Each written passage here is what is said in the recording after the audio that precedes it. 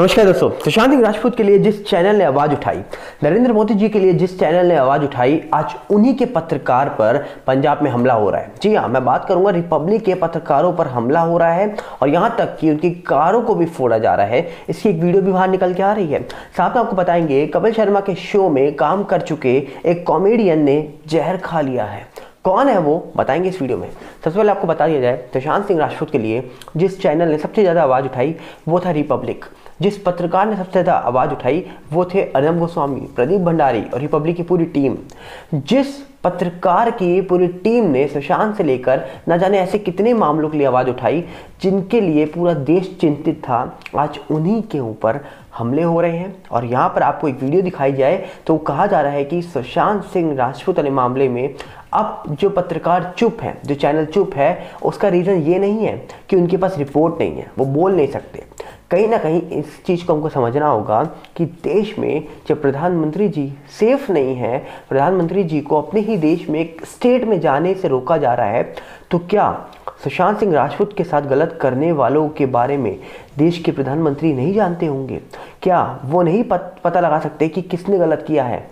पर कहीं ना कहीं कुछ ना कुछ ऐसी मजबूरियाँ जो शायद रोकती हैं पर उससे पहले मैं आपको दिखाऊँगा कि किस तरीके से एक पत्रकार के ऊपर वार हो रहे हैं और ये पत्रकार है अनुपमा झा।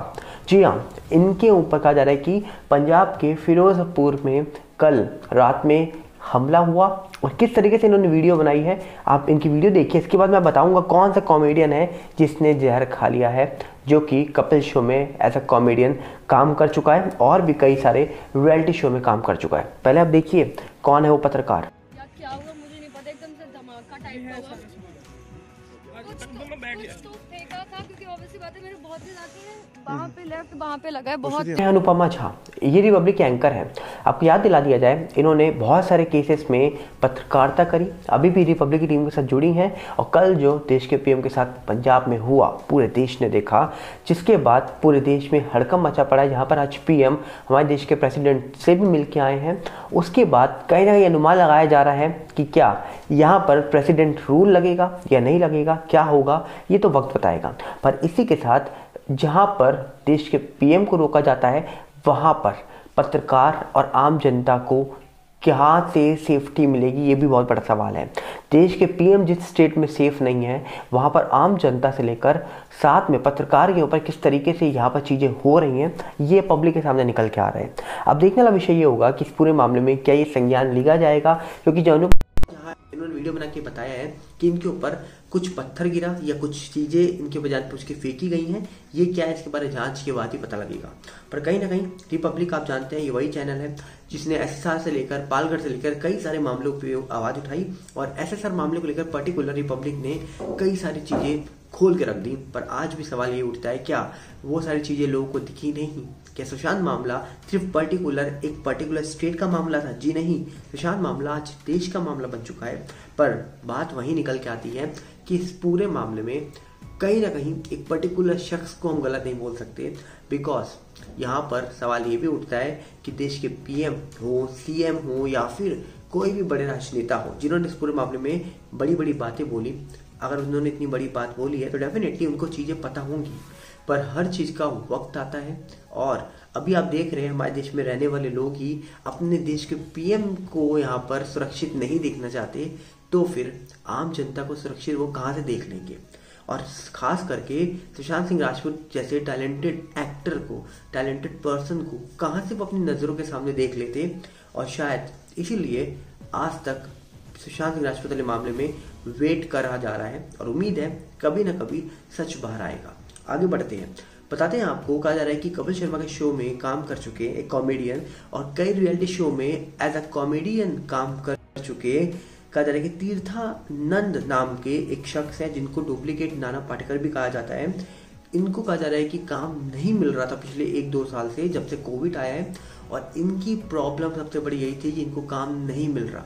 काम सर्च कर करके थक गए। और अभी हाल ही में इन्होंने बताया था कि कपिल शर्मा के शो से भी इनको कॉल आया हुआ था। तब ये कोई काम में बिज़ी थे, इसलिए वो काम नहीं कर पाए कपिल के शो में। बट हाँ इन्होंने काम ना मिलने के कारण आर्थिक तंगी के कारण चेयर खा लिया और सुसाइड अटेम्प्ट कर ली है। ऐसा बताया जा रहा है कि जिस बिल्डिंग में रहते थे, वहाँ पर इनका परिवार भी रहता था।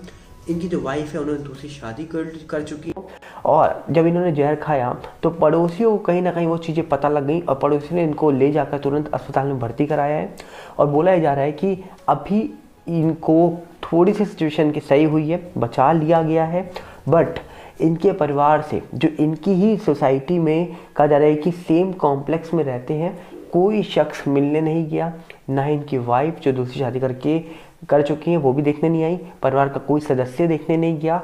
तो यहाँ पर कहीं ना कहीं हमको कई बार दिखता है कि कितनी अच्छी इंडस्ट्री है, कितने अच्छे लोग हैं, कितनी अच्छी लाइफ चल रही है, कितनी मस्त लाइफ है बट हर चमक के पीछे एक अंधेरा ज़रूर होता है जो शायद हम नहीं जानते। और ये आज एक शख्स जो है, तीर्थानंद, जो एक कॉमेडियन है, इनकी लाइफ ने बता दिया। और मैं आपको हमेशा एक चीज़ बोलता हूँ जो इंसान सबसे ज़्यादा हंसता है, उसकी लाइफ में सबसे ज़्यादा प्रॉब्लम होती है। तो ये मत सोचिए कॉमेडियन है वो, और कॉमेडियन की लाइफ में कोई प्रॉब्लम नहीं होगी। उनकी लाइफ में इससे बड़ी प्रॉब्लम क्या हो सकती है? उन्होंने इतना बड़ा कदम उठा लिया।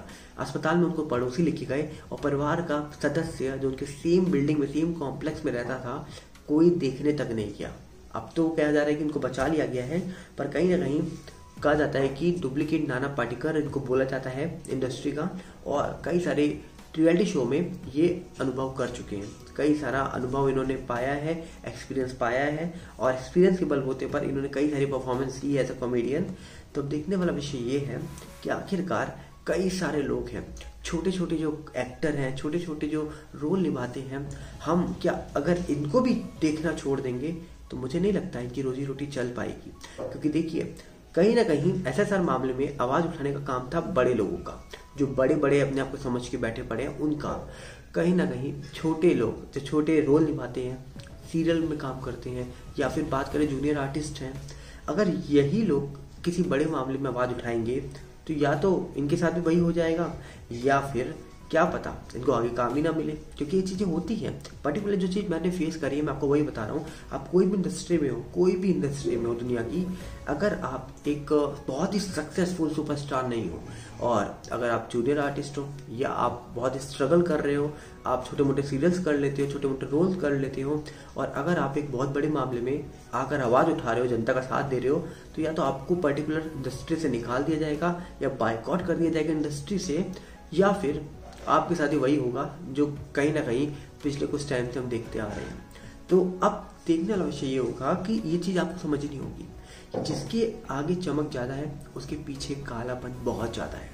तो कहीं ना कहीं हम यही जाएँगे, देश के पीएम की सिक्योरिटी बढ़े और कहीं ना कहीं उन लोगों की आँखें खुलनी चाहिए जो ये कहते हैं कि पीएम कल इसलिए लौटे कि वहाँ पर रैली में ना कोई आया था। भाई सब भीड़ बहुत इसका प्रूफ सकते हैं। बाकी उसके लिए बना देंगे, ताकि उन लोगों की आँखें खुल जाए जो ये सोच रहे हैं कि पीएम की रैली में तो कोई आता नहीं है। वो जो ये सोच रहे हैं कि पंजाब में को, जो कुछ कल हुआ, जैसे पीएम को रोका गया, उसमें कुछ भी ज़्यादा कुछ हुआ नहीं है। तो ये आपको बताएँगे किस तरीके से सिक्योरिटी में चूक हुई है। जल्दी इसके बारे में हम डिस्कस करेंगे। मिलते हैं बहुत जल्दी। नमस्कार।